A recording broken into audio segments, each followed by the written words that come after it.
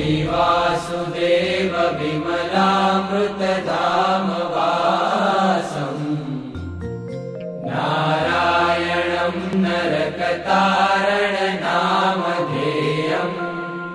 श्यामं सितम् द्विभुजमेव चतुर्भुजम् च। त्वाम् वक्तिधर्मतनयम् शरणम् प्रपद्ये।